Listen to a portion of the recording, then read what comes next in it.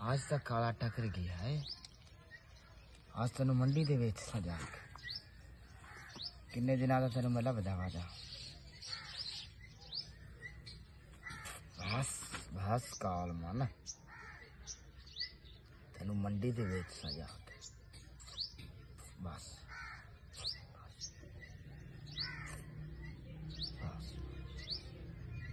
ਬਸ ਹੈ ਬਸ। ਆ ਜਾ ਤੈਨੂੰ ਮੰਡੀ ਤੇ ਵੇਚ ਸਜਾ।